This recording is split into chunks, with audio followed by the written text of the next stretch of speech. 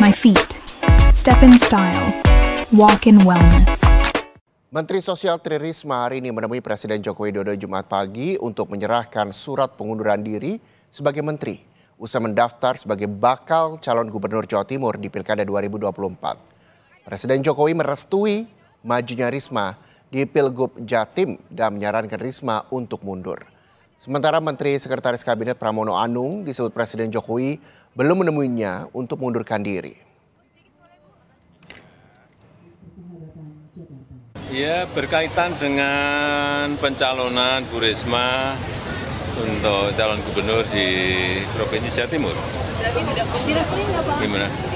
Akan mundur katanya Pak. Ya saya izinkan. Pak katanya Bu Risma kan mau mundur dari jabatannya. Itu sudah diajukan. Ya itu Bapak, lebih Pak. baik. Tapi kalau tidak kan aturannya memang juga tidak apa-apa memperbolehkan. Kalau untuk Pak Prabowo. Belum juga menyampaikan kepada saya mau mundur.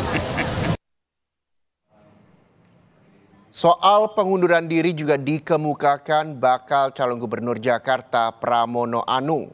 Dia mengaku akan segera menemui Presiden Joko Widodo dan Ketua Umum PD Perjuangan Megawati Soekarno Putri untuk membicarakan pengunduran diri sebagai Menteri Sekretaris Kabinet.